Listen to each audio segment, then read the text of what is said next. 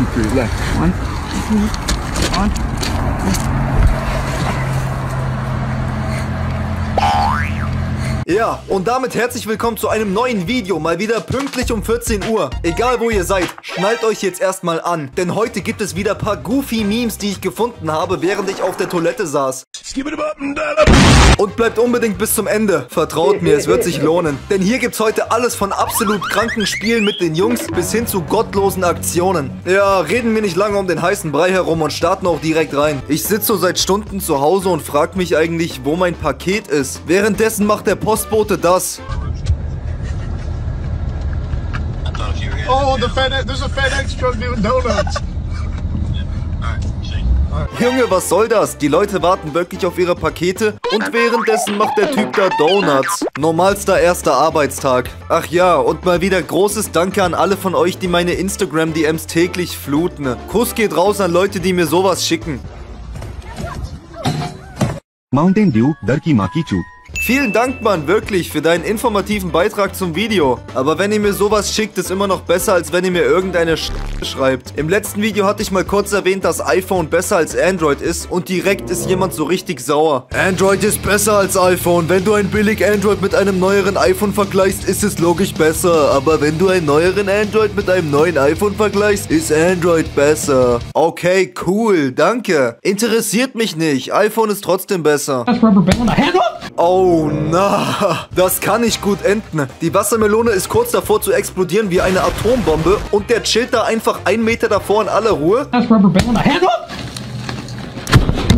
Ach du Scheiße. Geht's dem gut? Lebt er noch? Kleiner Disclaimer. Natürlich geht's ihm gut. Dieses Experiment war nur für Bildungszwecke und Aufklärung gedacht. Die Wassermelone hatte persönliches Problem mit dem Bruder. Die hatte gar keinen Bock für sowas genutzt zu werden. Alle ihre Brüder und Schwestern sind schön so wie es sein soll auf einem nicen Früchteteller gelandet. Und sie muss so eine Kacke durchmachen. Wassermelone 1. Typ 0. Dings, mein Opa wollte letztens unbedingt zeigen, dass er auch was trinken kann, wenn er die Pressluftmaschine in der Hand hält. Naja, das will ich jetzt mal sehen. Mi primera chamba. Me acuerdo el día que de la chamba yo me enamoré. Yo, hat nicht geklappt, wie ich sehe. Komplett reingekackt und am Ende noch schön die Flasche weggehauen. So, ach komm, weg mit dem Dreck hier. Aber was ging eigentlich jetzt genau in den letzten paar Sekunden ab? Wow, wow, wow, wow, wow, das ist mir ein bisschen zu sass. Was macht der da? Ich glaube, er hat das auch direkt gecheckt, wohin das führt. Deswegen hat er auch sofort abgebrochen. Puh, saved. Nochmal Glück gehabt. Wie eigentlich schon jeder wissen sollte, sind die Schultoiletten der Ort, an dem die schlimmsten und weirdesten Dinge passieren. Und ich kann wirklich die Leute verstehen, die sich so denken, na, ich halte jetzt einfach noch ein paar Stunden aus und gehe dann einfach zu Hause auf Klo. Weil man läuft immer auf die Gefahr hinaus, dass dort ganz zufällig heute, genau in dem Moment, wo du aufs Klo willst, ein kleiner Butchi eine Bombe versteckt haben könnte oder so. Oder so jemand wie der hier im Nebenraum ist.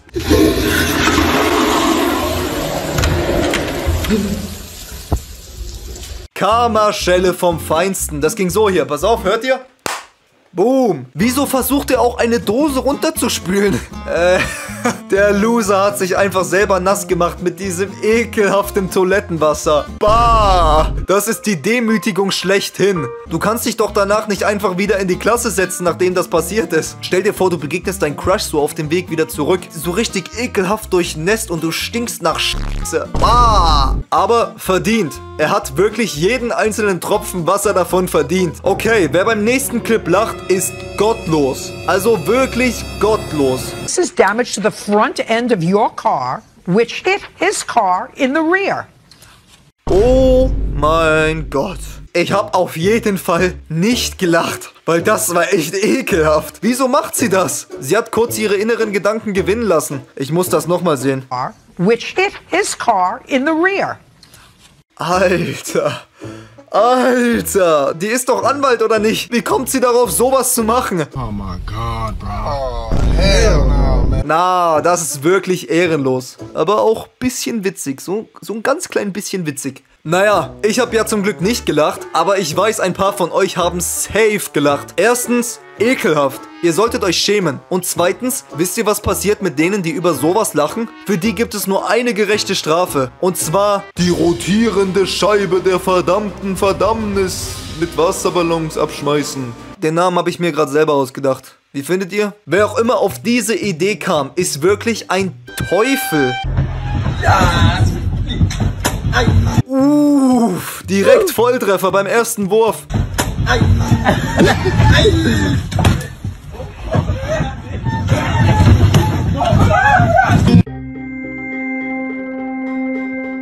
Oh, shit. Leider endet das Video hier, aber, ähm, ja, ja, was soll ich dazu noch sagen? Der konnte gleich noch ein bisschen Gras und Boden küssen, nachdem er die Wasserbomben abbekommen hat.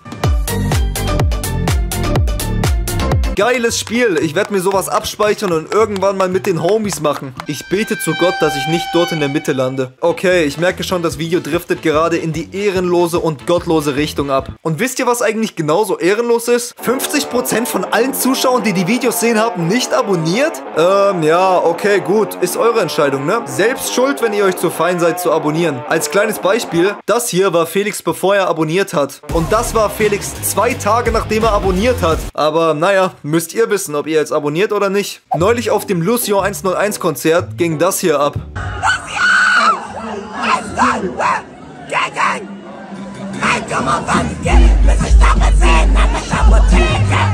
Oh no. Ganzes Konzert zerstört. Bro, gibt's hier zufällig einen Priester auf dem Konzert, der mal kurz einen Exorzismus durchführen kann bei ihr? Weil das klingt echt nicht gesund. Ich mache mir wirklich Gedanken. Würde ich auch nur in der Nähe von ihr stehen, ich glaube, ich würde nach zwei Songs nach Hause gehen. Scheiß auf das Konzert. Kein Bock, sowas gibt sich doch niemand freiwillig. Diese Leute sollten Konzertverbot bekommen. Wieso kann sie nicht einfach das Konzert genießen wie ein normaler Mensch? Ah, naja, wie auch immer. Kennt ihr diese Street Art Leute, die so Menschen zeichnen auf eine coole und lustige Art und Weise? Ich kann euch so viel sagen. Die im nächsten Video hat's echt mies erwischt.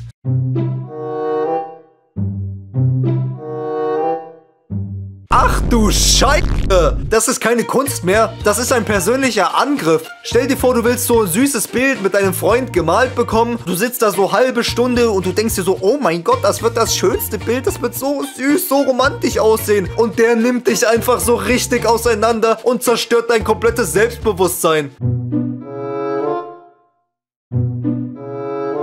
Ja, der Typ geht noch fit.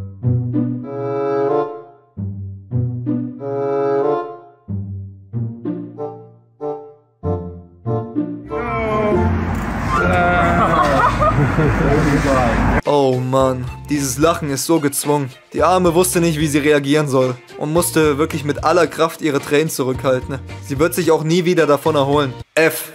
Dickes F in die Kommentare für sie. Hier werden wir Augenzeugen von einem epischen Tanzbattle in der Schule. Und der Bruder hier killt wirklich mit seinen Moves.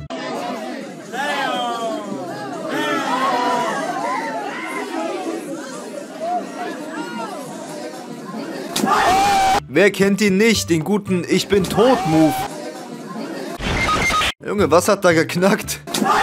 Also eins muss man ihm lassen. Er hat auf jeden Fall einen Überraschungseffekt gehabt. Der kam wirklich unerwartet. Also so richtig unerwartet. Ich, ich muss den anderen nicht mal sehen und ich weiß, er hat gewonnen. 2024 wird es fliegende Autos geben. 2024? Auf jeden Fall, die, die Cloud-Ladekabel haben wir noch. Was Kabel? Hast du was gesehen? Die Cloud-Ladekabel haben wir noch rum. Auf jeden Fall, die, die Cloud-Ladekabel haben wir noch rum. Was für Kabel? Hast du was gesehen? Du, du kleine Mutter? Hä? Pass, pass mal auf, wie du redest. Pass mal auf, wie du redest.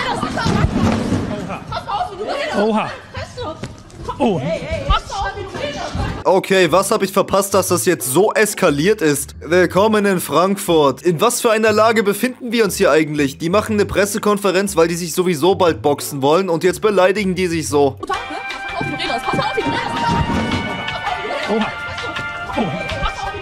Die Menschheit ist echt am Arsch. Kennt ihr diese Tage, wo euch einfach nur alles abfuckt? So egal was passiert, alles macht euch sauer. Ich fühle mich da immer genauso wie hier.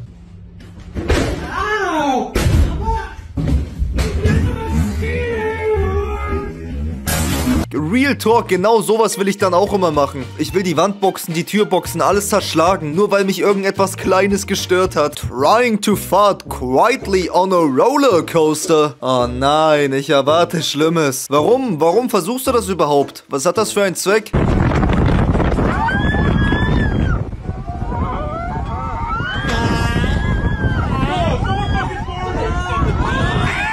Bro, wieso? Hast du das getan, Mann? Die armen Leute, die da neben dir saßen. Vor allem der eine Typ hat es auch noch gecheckt und hat geschrien, Oh, someone just farted. Bah, wie ekelhaft. Der wollte nur mit seiner Familie in den Freizeitpark auf die Achterbahn. Und dann sitzt da einfach jemand, der das Ding voll furzt. Na, das ist echt gottlos, Bro. Okay, stellt euch mal vor, ihr seid gerade so mit der Bahn in den Niederlanden unterwegs und auf einmal sitzt dieser Typ gegenüber von euch. Er hat sein Handy mit Klapphülle in der Hand und jetzt schaut mal bitte, was er sich darauf reinzieht.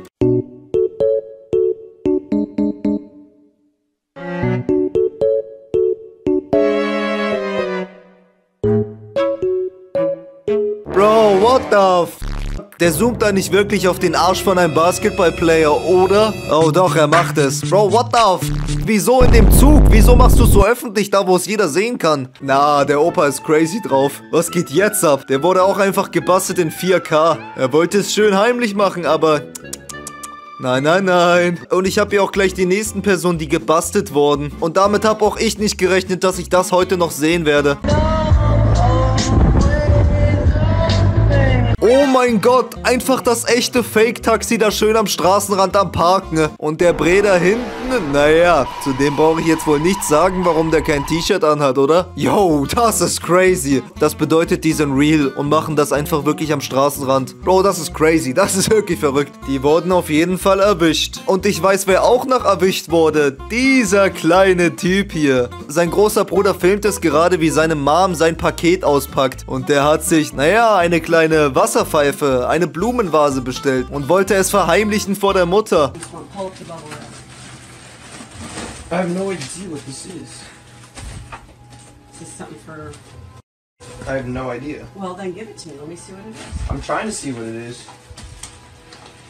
It looks just like a big metal, like plastic like vase. Look, it has like a glass bottom. I think it's like a vase. Well, open it then. I'm opening it. Chill.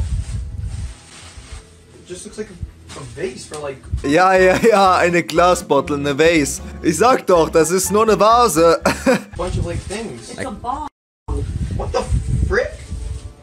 What the frick? Yo, die schauspielerische Leistung ist echt on top, Mann, von dir. Man merkt gar nicht, dass du lügst. It's a bomb. What the heck? I didn't order that. Ordered an Xbox card. Ja, ja, natürlich hast du das nicht bestellt, ne? Du hast eine Xbox-Karte bestellt, safe. Die haben dir das aus Versehen geliefert. Deine Mom wird das bestimmt glauben. Der Kleine ist so am Arsch. Xbox remote. This is a bomb.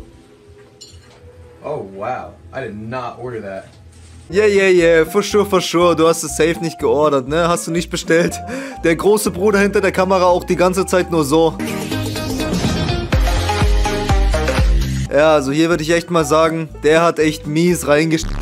Was für ein ungünstiger Zeitpunkt. Es wäre alles gut gelaufen, wäre das Paket gekommen, wenn seine Mom nicht da wäre. Aber natürlich musste sie es annehmen und ihn so auseinandernehmen. Und wisst ihr, was ihr auseinandernehmen solltet? Den Like-Button. Meine Damen und Herren, ich danke euch mal wieder fürs Zuschauen. Wir sehen uns morgen wieder. Ciao, ciao.